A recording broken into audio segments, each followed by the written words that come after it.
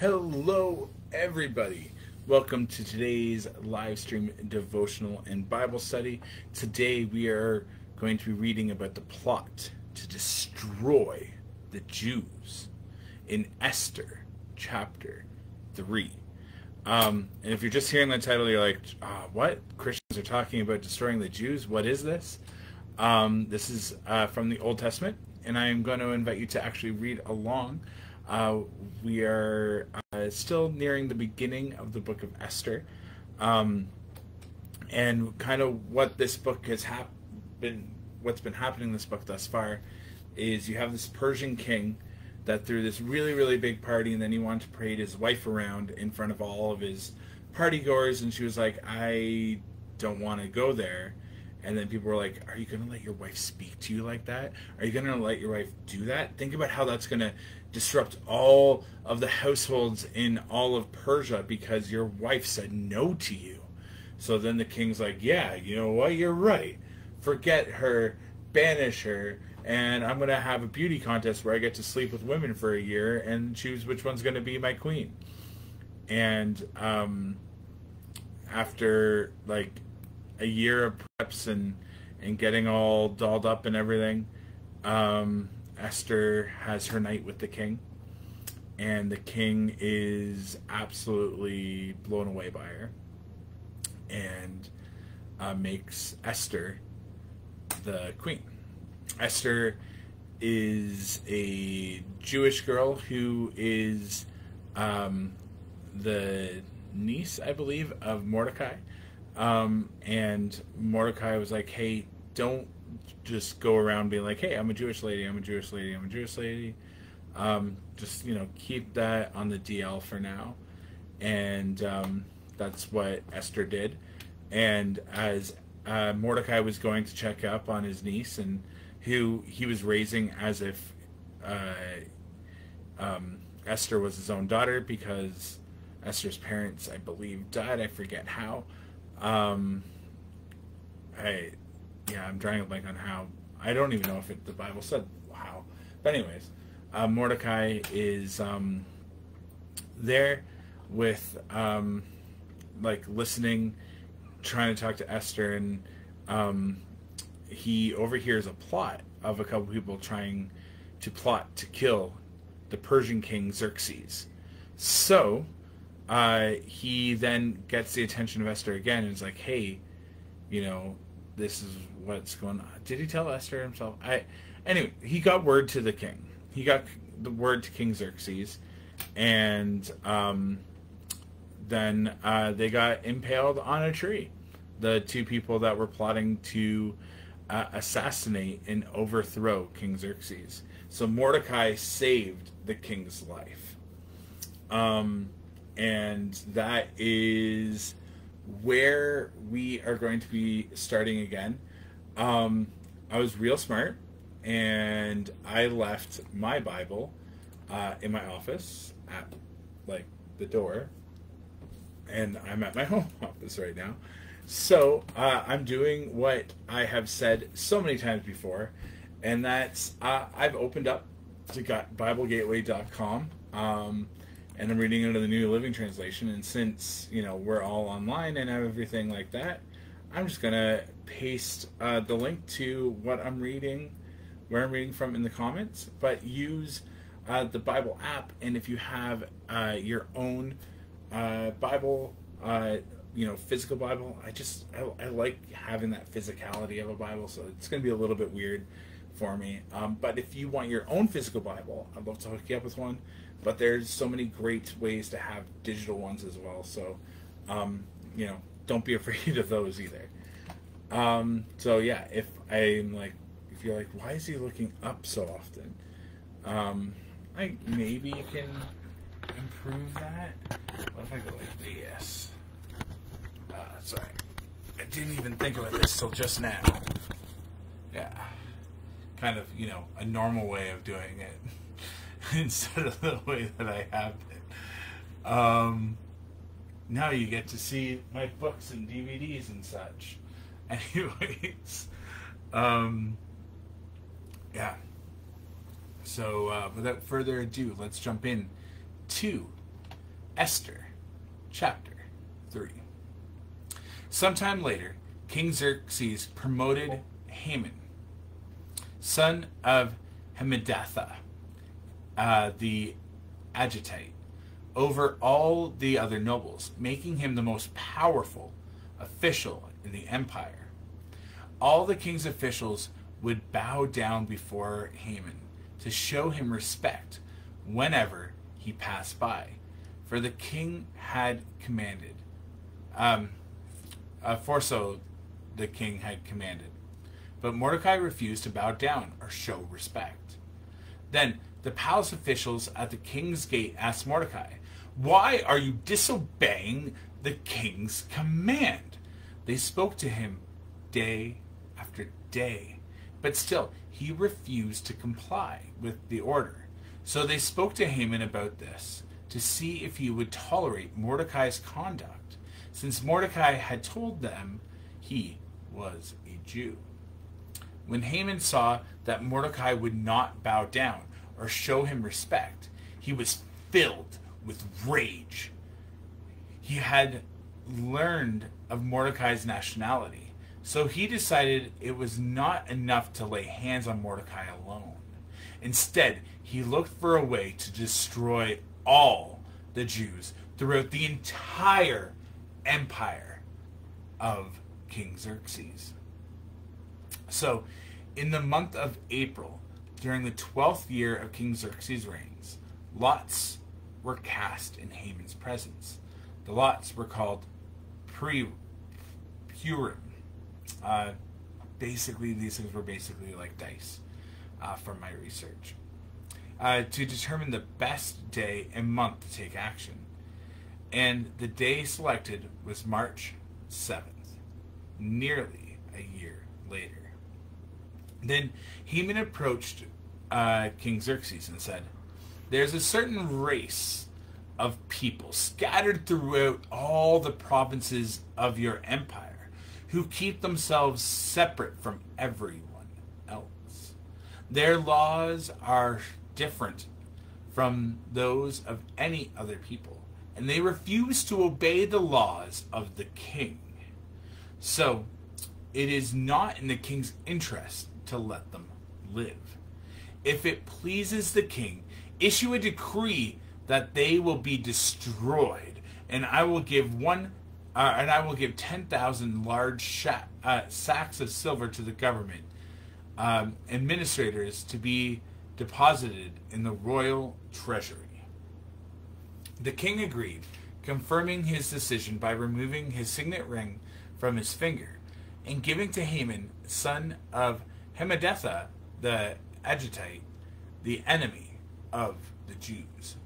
The king said, The money and the people are both yours to do with as you see fit. So on April 7th, uh, 17th, the king's secretaries were summoned, and a decree was written exactly as Haman uh, dictated.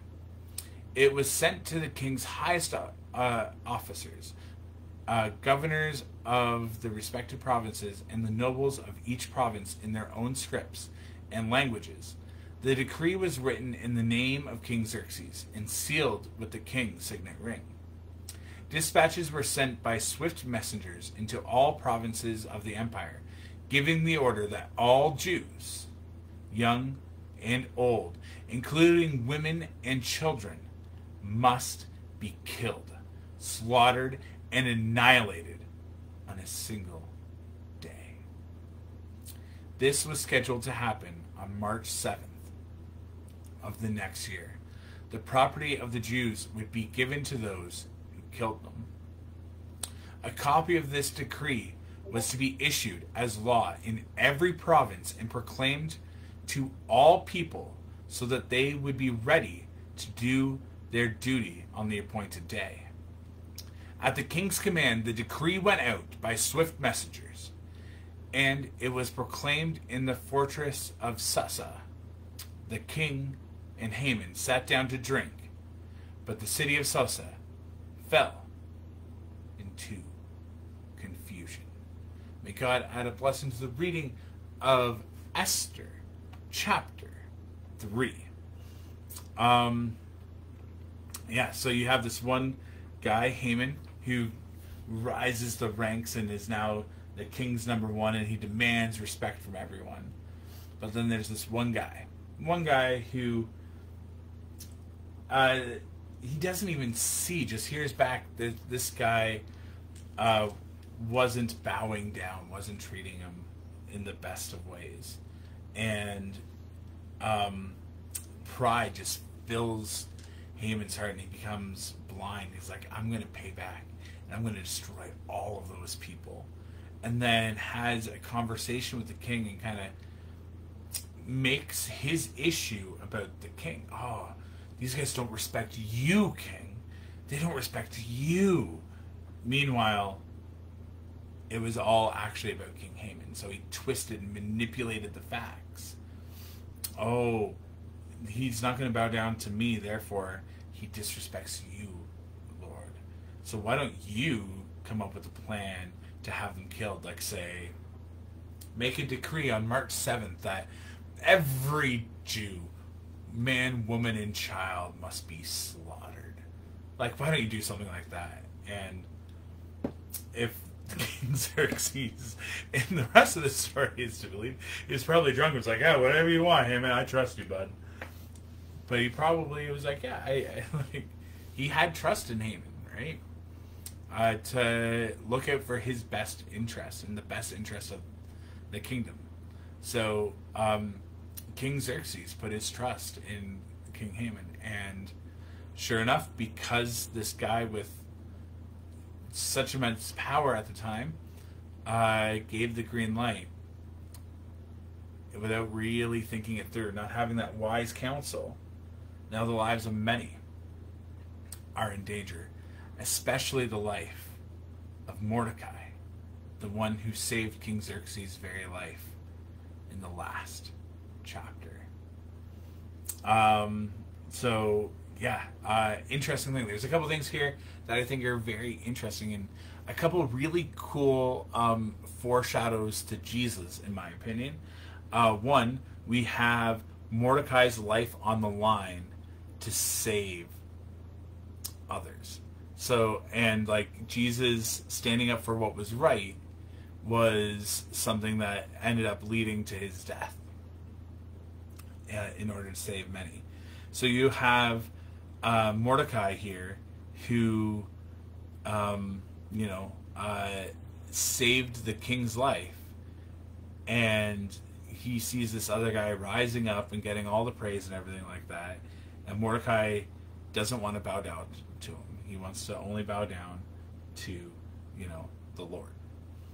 And um, this has gotten many Jewish people in trouble before, but Mordecai overreacts and he takes this pride uh, this thing, and he wants to kill all the Jewish people. This is something that we've seen time and time again um, in a lot of the Old Testament stuff. Um, Kings 18 comes to mind, but the reason why this so foreshadows like Jesus in in my mind as I'm reading this is that whole he came to save, and then he stood up for what was right, and then got persecuted by people in higher power and then uh, yeah, that made his life on the line. And this is something that we've seen with the Jewish people throughout history. Think of World War II, even that came to mind as I was reading this.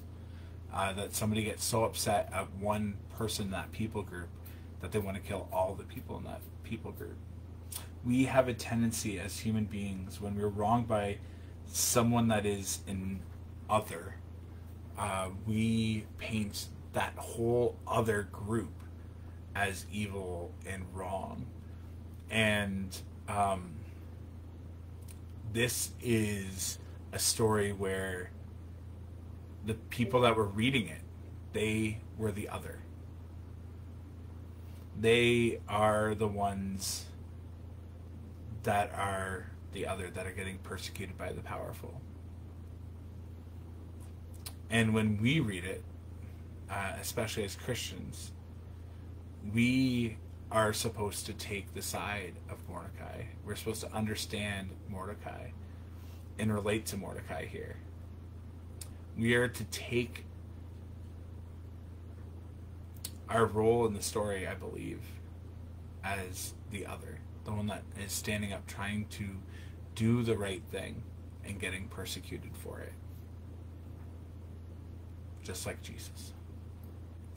The other thing that makes this whole story of Mordecai like Jesus is it was a bunch of silver that paid for the deaths of all of the Jews. And Jesus, um, you know, um, famously was betrayed with per 30 pieces of silver. So I don't know if the numbers break down, but that was just one of those other things that stood out to me. So what's the big take home? Instead of being angry at whoever whoever that other people group is, um, we should learn to love, forgive, to help, uh, and not paint everyone in that other group with such a vicious brush. Um, we should try to understand and identify with the other as they're coming in with different religions, different practices, different upbringings, and treat said people with such with respect and I think that's one of the big reasons why in North America we have the religious freedoms that we do have. Because when the people that were making the laws and everything, they would read stories like this from the Bible and go, that wasn't right. We don't want to make those mistakes again. I hope. I think. I don't know. Uh, but yeah. And the other thing, the other big takeaway from this is doing the right thing doesn't mean that it's going to make life easy, especially short term. In the last chapter, Mordecai saved the king and did the right thing and was like, hey, there's a plot to kill you. And now he's getting punished and sentenced to death by the very king that he saved. But he still did the right thing. Sometimes in life, when we do the right thing, it can feel as if we are punished for it. But God sees it. God knows what's happening here in the book of Esther.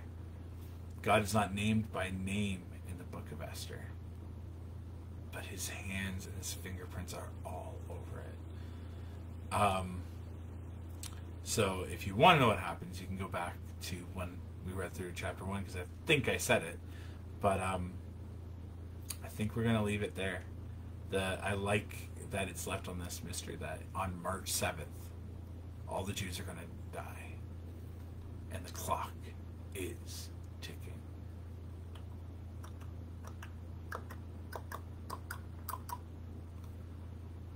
So let's pray. AJC, awesome Jesus Christ. I thank you for the book of Esther. Um, I thank you for the lessons that we can pull out of this tragic story, this heart wrenching story where someone that stood up to do good, that saved somebody's life, is now having their life in jeopardy. Not only their life, but the lives of all of their people in jeopardy by the one that they came to save.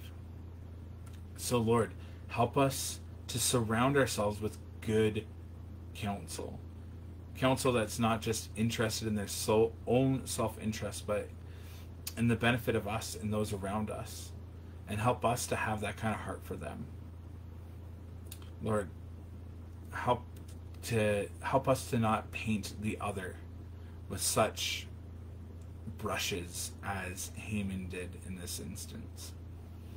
And we have a tendency to do that uh, throughout history. It's it's part of our sinful nature, one that comes out and we hold strong to without even really realizing it or knowing why or how. So Lord, help us to squash that and to change that hate and that disgust, disgust and that distrust into love. And I thank you so much that we, or at least I, people who watch this sometimes from many other countries, but here in southern Ontario, that this is the mixing pot type deal or whatever we call it, um, where you know it's not uncommon to run into so many different people from so many different countries, so many different walks of life, and so many different religions, and that we can just come together um, and that we can show love. And I thank you that Christians are the ones that reach outside of their community the most to show love, honor, and respect, to offer help. There are more programs run by Christians that help people of other faiths than any other faith group. Um, if, yeah. Um, I want to prove that fact now, Lord, but you know that fact. Um, and I, I, I don't, I can't bring it up now that I'm in the middle of the prayer, but I thank you for that, Lord. Um, so yeah, the wise counsel, the, the not painting others, Lord, and um, help us to not tire in doing good. The world right now is just it's feels so dire. We're coming out of a pandemic. There's threat of nuclear war. There's so many personal things going on, so many global things going on. And life is tough. But Lord, I can't imagine what it's like to live life without you. So, Lord, guide us, direct us. Help us to offer your hope and extend your love. Help us to do what is right and to love mercy and to walk humbly with you, Lord. In Jesus' name, amen. All right. Uh, so that is it for today. Have a fantastic day. God bless.